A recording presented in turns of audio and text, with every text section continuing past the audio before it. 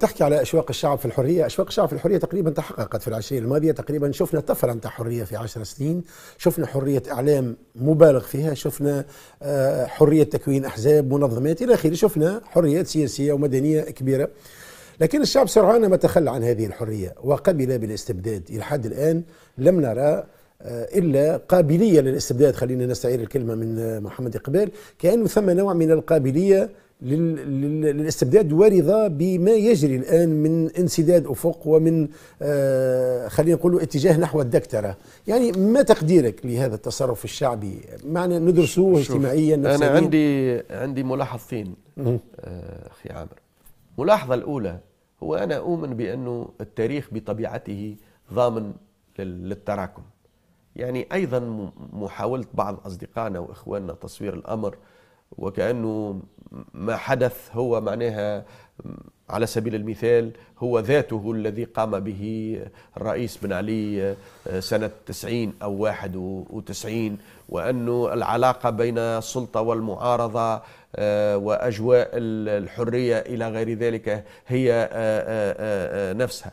التاريخ لا لا لا لا يعيد نفسه بهذا الشكل أو على هذا النحو. وهناك أشياء تحققت بفضل الثورة وبفضل تجربة الانتقال الديمقراطي. راهو شوف تجربة الانتقال الديمقراطي لن تضيع يعني في معالمها الكبرى آه، لن تضيع. لو ضاعت لضاعت الثورة الفرنسية. الثورة الفرنسيه أيضا شهدت العديد من الارتدادات والانتكاسات. تجارب الانتقال الديمقراطي جميعها. أنا زرت عشرات البلدان التي عاشت وتعيش وما زالت تعيش آه، حالات انتقال ديمقراطي. جميعها مرت بحالات من هذا النوع.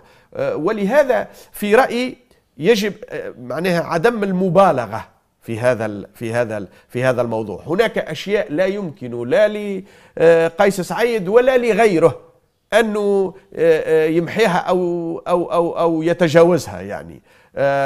وثم آه، هامش من الحرية آه، نتيجة تقاليد نتيجة أعراف تراكمت طيلة العشرية. لا يمكن أيضا تجاوزها. هذا المواطن التونسي آه، الذي اعتاد على الحرية أيضا لا يمكن أن يعني يعاد إلى آه، تلك الأجواء اللي ممكن آه، تعيشها آه، بلدان أخرى مجاورة، الشعب التونسي يظل مختلفا عن الشعب المصري وعن شعوب المنطقة. وأي نظام سياسي قائم لا يستطيع أن يتصرف كما لو أن شيئا لم يحدث. هذه ملاحظة. الملاحظة الثانية اللي هي أنه آه، آه، المواطن لم يعبأ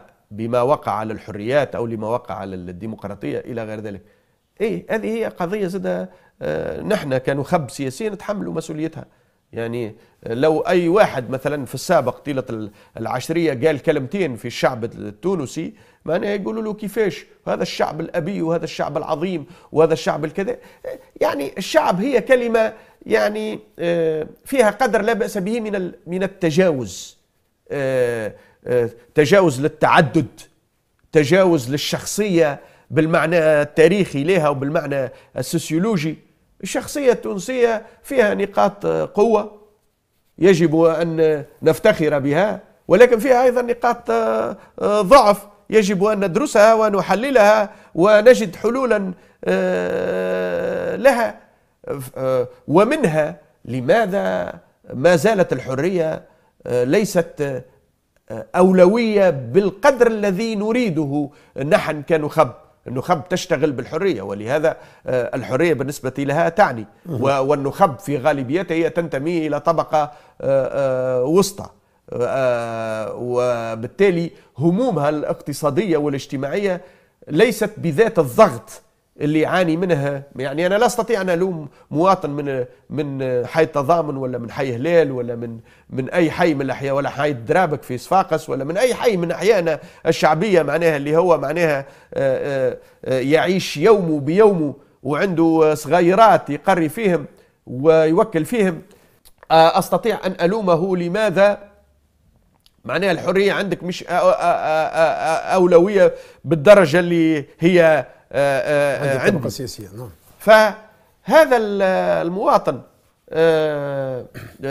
يفكر في المرافق اليومية الحياتية مرفق النقل ومرفق التعليم ومرفق الصحة ومرفق التشغيل إلى غير ذلك من المرافق. وقلنا هذا الكلام في البدايات في 2013 أنا نتذكر كان عندي مطارحة تلفزيونية مع سي محمد عبو. قلت له في ذلك الوقت راهو يا سي محمد لا أنا ولا أنت ولا كل الطيف الديمقراطي المنخرط في الانتقال الديمقراطي آآ آآ يعني شيئا. لهذا الشعب إن لم يتغير معاش هذا الشعب. باش يفرق هو الشعب بين ديمقراطيه واستبداد بالدرجة الأولى الأداء التنموي المنجز التنموي مهم. لكن نحن نقول أيضا انه راهو المنجز التنموي الحقيقي وهذا ستثبته هذه التجربة لا يتحقق إلا بالديمقراطية.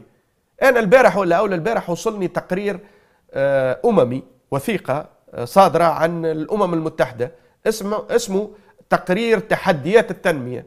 يضع شروط ثلاثة للعملية التنموية. من بينها الحوكمة الديمقراطية. لا مجال للتن... للتنمية بمعناها الحقيقي إلا من خلال نظام ديمقراطي. والدليل أنه هاو العودة إلى الحكم الفردي التسلطي وإلى الحكم الرئاسوي آه، خلافا لما كانت تعتقده يعتقده جزء لا بأس به من المواطنين حل المشاكل الاقتصادية هذا النوع من الأنظمة لا يحل المشاكل الاقتصادية بل أنا نقول في الحالة التونسية بالتحديد يعني وليست الحالة الصينية ولا الحالة الروسية لأنه ثم معطيات أخرى في الحالة الصينية والحالة الروسية ربما تغطي على آه، آه، آه، طبيعة النظام لكن في الحالة التونسية بالتحديد الديمقراطية هي مصلحة وطنية عليا لماذا؟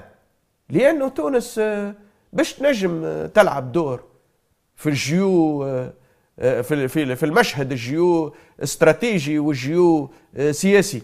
باش نجم تدافع على مصالحها باش نجم تضمن مصالحها. ما تنجم تضمن مصالحها إلا من خلال آه، نظام ديمقراطي محترم.